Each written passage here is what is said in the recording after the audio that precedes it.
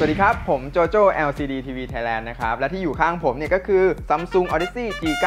Gaming Monitor รุ่นท็อปจาก Samsung นะครับ โดยฟีเจอร์และสเปคเนี่ยเรียกได้ว่าจัดเต็มเลยนะครับ รวมไปถึงดีไซน์ของเขาในปีนี้นะครับ ก็ได้มีเอกลักษณ์ที่เป็นเฉพาะตัวมากๆนะครับ ส่วนการใช้งานเนี่ยจะเป็นยังไงมาดูกันเลยครับ เริ่มกันที่ตัวจอนะครับ G9 ตัวนี้เนี่ยเป็น Gaming Monitor ขนาด 49 นิ้วนะครับ มีสัดส่วนของภาพเนี่ยอยู่ที่ 32 ต่อ 9 แบบ Ultra Wide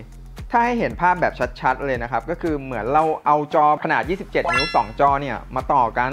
โดยที่ภาพนั้นนะครับ เชื่อมกันแบบไม่มีขอบจอมาคั่นกลางเลย Wow. ตัวบอดี้นะครับมีสีขาวนะครับตัดกับแถบที่เป็นโครเมียม บวกกับไฟ LED ที่ทาง Samsung เขาเรียกว่า Infinity Core Lighting นะครับหน้าตาเนี่ยจะคล้ายกับ Arc Reactor บนหน้าอกของ Iron Man นะครับเราสามารถปรับเปลี่ยนสีเนี่ยได้หลากหลายตามที่เราต้องการเลยครับ และอีกหนึ่งเอกลักษณ์นะครับที่บ่งบอกว่ามอนิเตอร์ตัวนี้เนี่ยเป็นของ Samsung นะครับก็คือการออกแบบที่เป็นแบบเค r ร์ฟซึ่งความโค้งของจอตัวนี้เนี่ย อยู่ที่ 1000R เลย ถือว่าเป็นจอที่โค้งที่สุดเท่าที่ซัมซุงเคยมีมาเลยนะครับ ซึ่งการโค้งขนาดนี้เนี่ยก็จะทำให้จอนะครับโอบรับเข้ากับสายตาเราพอดีสำหรับขนาด 49 นิ้ว และที่ด้านหลังเนี่ยก็จะมีที่แขวนหูฟังให้มาด้วย เราสามารถกดนะครับ แล้วก็จะมีก้านเนี่ยเด้งออกมาทำให้เราเนี่ยสามารถเอาหูฟังไปแขวนได้ครับ ส่วนพอร์ตเชื่อมต่อที่ให้มานะครับ ก็ถือว่าครบครันนะครับ ไม่ว่าจะเป็น HDMI 1 ช่อง DisplayPort 2 ช่อง USB 3.0 นะครับ 2 ช่อง และช่องเสียบสายหูฟังครับ ในส่วนของดีไซน์นะครับ ก็ต้องบอกว่าในปีนี้เนี่ยซัมซุงเขาได้ออกแบบมาดูดีนะครับ แล้วก็ดูล้ำอนาคตมากนะครับ แต่ในการใช้งานจริงเนี่ย เราจะดูแต่ดีไซน์อย่างเดียวก็คงไม่ได้นะครับ ฉะนั้นเนี่ยเรามาดูในส่วนของสเปคจอกันบ้างครับเริ่มที่ความละเอียดภาพนะครับ มีความละเอียดอยู่ที่ Dual QHD หรือ 5120คูณ 1440p นะครับ รองรับ refresh rate อยู่ที่ 240 Hz และมีอัตราการตอบสนองของเม็ดพิกเซลเนี่ยอยู่ที่ 1 millisec ครับ และ G9 ตัวนี้นะครับก็ยังใช้ panel หน้าจอแบบ VA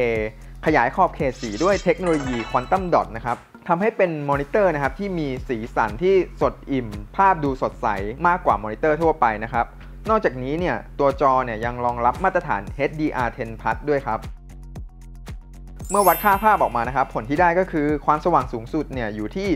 660 นิต และมีขอบเขตสีนะครับอยู่ที่ 96%ของ DCI P3 นะครับ โดยรวมเนี่ยอยู่ในเกณฑ์ที่ถือว่าดีเลยครับ ไล่สเปคกันมายาวเหยียดเหมือนขนาดของตัวจอแล้วนะครับ ทีนี้เรามาลองใช้งานจริงกันดูบ้างนะครับ ว่าการเล่นเกมหรือว่าทำงานครับบนจอที่มีสัดส่วนแบบ 32 ต่อ 9 เนี่ย มันจะเป็นยังไงนะครับ มาดูกันเลยสำหรับการเล่นเกมนะครับบนหน้าจอแบบ 32 ต่อ 9 เนี่ย ถือว่าดีเลยนะครับสำหรับเกมแนว FPS ที่รองรับ เพราะว่าจะทำให้เรานะครับได้มุมมองหรือวิสัยทัศน์นะครับที่กว้างขึ้นกว่าเก่า บวกกับ refresh rate นะครับที่เป็นแบบ 240 Hz เนี่ยยิ่งทำให้ภาพตอนเราเล่นเกมนะครับไหลลื่นขึ้นไปอีก ใครที่มีปัญหานะครับว่าจอจะใหญ่เกินไปจอโค้งแล้วจะเมาภาพนะครับหมดปัญหาไปเลยครับ เพราะถือว่าทำออกมาได้ดี แต่หากเกมที่เราเล่นเกมนั้นๆนะครับ ไม่รองรับอัตราส่วนภาพแบบ 32 ต่อ 9 นะครับ เวลาเราเล่นเกมเนี่ย ภาพเนี่ยก็จะเหลือแค่ขอบดำด้านข้างนะครับ แต่ถามผมว่าส่งผลเวลาเราเล่นเกมหรือเปล่านะครับ ส่วนตัวแล้วเนี่ยผมคิดว่าไม่มีผลครับ เพราะสุดท้ายนะครับเราก็จะจดจ่อกับภาพของเกมอยู่ดีครับ ส่วนเรื่องของการตอบสนองเวลาเล่นเกมนะครับ เรื่องนี้นี่ไม่ต้องพูดถึงเลยครับ เพราะว่าตัวจอเนี่ยมีค่า input lag อยู่ที่ 5 millisec นะครับสำหรับ refresh rate แบบ 240 Hz และแบบ 60 Hz เนี่ยจะอยู่ประมาณ 20 กว่าๆครับ ส่วน response time นะครับจะอยู่ที่ 1 millisec ทำให้ตัวจอนะครับตอบสนองได้อย่างรวดเร็วนะครับ ต่อการเล่นเกมของเรา และถ้าใครนะครับที่กลัวว่าเล่นเกมแล้วภาพจะขาดหรือว่า frame rate จะเกินนะครับก็ไม่ต้องห่วง เพราะว่าเจ้า G9 ตัวนี้นะครับเขารองรับฟีเจอร์ NVIDIA G-Sync แล้วก็ AMD FreeSync Premium Pro นะครับเรียกได้ว่าสามารถใช้งานได้ทั้ง 2 ค่ายเลยนะครับไม่ว่าจะเขียวหรือว่าแดง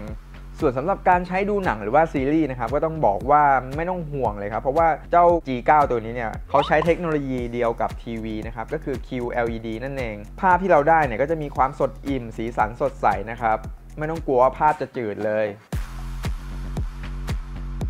ในส่วนของการใช้ทำงานนะครับ ตัวจอเนี่ยก็เหมาะสำหรับงานด้านตัดต่อ รวมไปถึงงานกราฟิกนะครับ เพราะว่าตัวจอเนี่ยมีสีที่ตรง แล้วก็มีพื้นที่ที่กว้างนะครับ ช่วยให้เรานะครับทำงานสะดวกได้มากขึ้นกว่าจอที่เป็นแบบ 16 ต่อ 9 นะครับ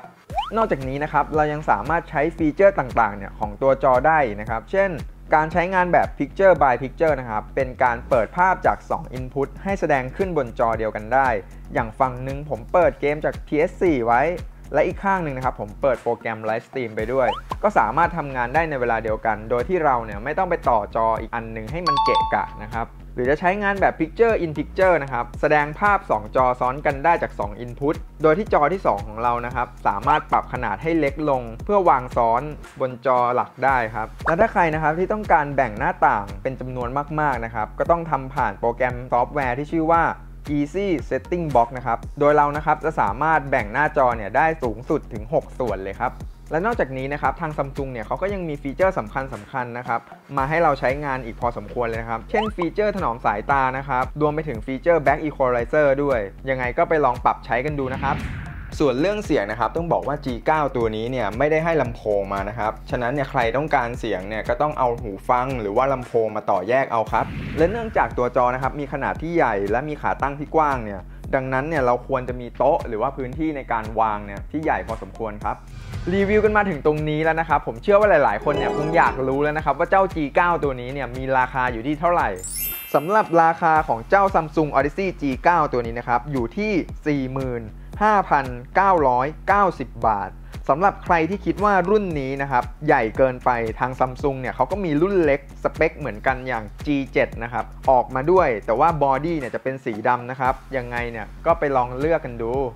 เป็นยังไงกันบ้างครับสำหรับ Samsung Odyssey G9 ตัวนี้นะครับสำหรับผมเนี่ยถือว่าเป็น gaming monitor นะครับที่มีดีไซน์ที่สวย ตอบโจทย์การใช้งานเนี่ยแทบจะทุกด้านเลยนะครับไม่ว่าจะเป็นเล่นเกมหรือว่าทำงาน แล้วท่านผู้ชมนะครับ คิดว่าถ้าได้ G9 ตัวนี้ไปใช้งานเนี่ย จะไปใช้ทำอะไร ลองคอมเมนต์กันเข้ามาดูนะครับ และถ้าเห็นว่ารีวิวนี้มีประโยชน์นะครับ ก็อย่าลืมกดไลค์ กดแชร์ เพื่อเป็นกำลังใจให้พวกเราด้วยนะครับ